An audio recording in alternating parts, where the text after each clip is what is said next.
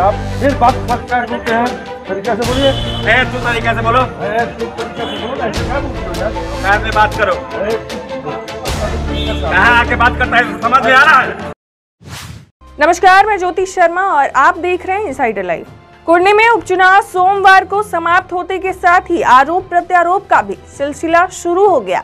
BJP के उम्मीदवार केदार गुप्ता और महागठबंधन के उम्मीदवार मनोज कुशवाहा बूथ पर ही आपस में भिड़ गए। दोनों के बीच जुबानी जंग शुरू हो गई। बीजेपी प्रत्याशी ने बूथ लुटने का आरोप लगाया तो वहीं जदयू के उम्मीदवार ने उन्हें देख लेने की धमकी तक दे दी। आप फिर बात बोलते हैं? तरीका से बोलिए। ए, तू तरीके से बोलो। ए, तुम तरीका से बोलो ऐसे क्या बोलते हो यार? औकात में बात करो। आके बात करता है? समझ में आ रहा है? देख लीजिए आप, आप लोग देख रहे हैं मीडिया वाले लोग क्या बोल रहे हैं? मुजफ्फरपुर के कुर्नी में उपचुनाव में बीजेपी की तरफ़ से केदार गुप्ता प्रत्याशी हैं तो वहीं महागठबंधन से जदयू की तरफ़ से मनोज कुशवाहा प्रत्याशी हैं।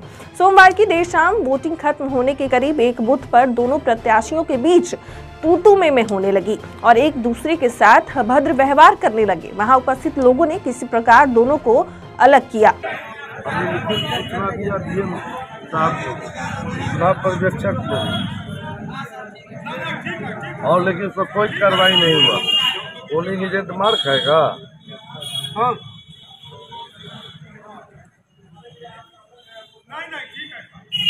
नहीं नहीं नहीं आप फिर बात बात क्या बोलते हैं।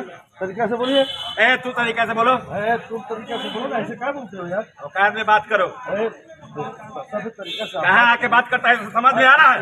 देख लीजिए आप, लोग देख रहे हैं मीडिया वाले लोग? क्या बोल रहे बता दें कि कुर्नी विधानसभा पर हुए उपचुनाव का फैसला 8 दिसंबर को हो जाएगा। इस चुनाव में कुल तेरह प्रत्याशी मैदान में हैं। कुर्नी में सोमवार शाम छह बजे शांतिपूर्ण मतदान समाप्त हो गया। यहाँ कुल संतावन दशमलव नौ प्रतिशत वोटिंग हुई। इधर बिहार बीजेपी अध्यक्ष संजय जायसवाल ने आरोप लगाया कि कुर्नी विधानसभा में हुए उपचुनाव में जदयू प्रशासन के साथ मिलकर बाहर के लोगों से बोगस वोटिंग करा रहा है। जायसवाल ने बताया कि पार्टी ने इसके लिए चुनाव आयोग को एक शिकायत पत्र भी लिखा है।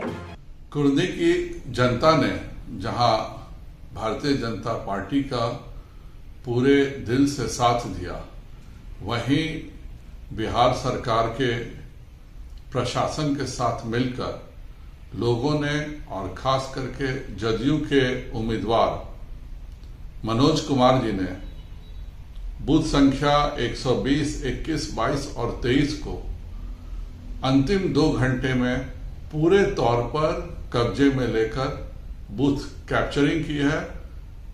जिला प्रशासन के हमारे बार बार बोलने के बावजूद भी कोई संज्ञान नहीं लिया गया। उसी प्रकार बूथ संख्या सड़सठ, अड़सठ, एक सौ दस, एक सौ ग्यारह, एक सौ बारह, एक सौ तेरह, एक सौ चौदह, दो सौ इकतीस और दो सौ बत्तीस। इन सभी बूथों पर जदयू के अपराधियों ने बूथ पर खुलेआम कैप्चरिंग किया। हर जगह पर लगातार तीन घंटे तक बोगस वोटिंग होती रही और हमारे बार बार अनुरोध करने के बावजूद भी बिहार का प्रशासन और मुजफ्फरपुर का जिला प्रशासन अपने घर में बैठने का काम किया है। मेरा चुनाव आयोग से अनुरोध होगा कि इन सभी बूथों को कैंसिल करके पुनः मतदान कराया जाए, जिससे कि जनता अपने हिसाब से वोट दे सके। नीतीश जी चुनाव हार चुके हैं और इसीलिए उन्होंने 2005 से पहले जो बिहार में होता था, उसी तरह का सहारा लिया और बरसों बाद हमने देखा कि बूथ पर अपराधियों के द्वारा कैप्चरिंग करके बोगस वोटिंग डाली गई है। आप फिर बात क्या बोलते हैं। तरीका से बोलिए। ए, तू तरीके से बोलो। ए, तू तरीका से बोलो ऐसे क्या बोलते हो यार? कार में बात करो। ए, कहाँ आके बात करता है? समझ में आ रहा है? देख लीजिए आप, लोग देख रहे हैं ना मीडिया वाले लोग? क्या बोल रहे हैं? मीडिया वाले लोग देख लिए ना कि क्या जब कैंडिडेट के साथ किस तरह व्यवहार आम जनता को क्या करते होंगे? नौटंकी कर रहे हैं?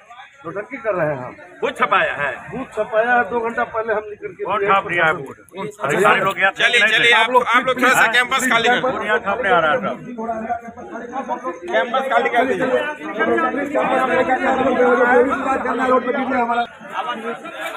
सर क्या हुआ आपके साथ? देख रहे हैं ना आपके सामने। सर कैसा आपके साथ? यहाँ बूथ को डिस्टर्ब किया गया। वो सर वो कौन थे? लोकतंत्र वो आपके साथ जो दुर्व्यवहार किए वो कौन थे? ये देख नहीं रहे हैं जदू के उम्मीदवार थे। अब क्या कीजिएगा आप? तो मैं लिख करके दूँगा सबको।